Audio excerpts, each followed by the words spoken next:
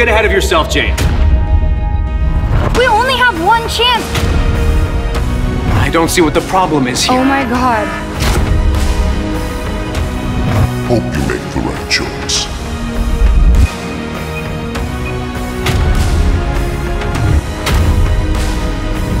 Nice!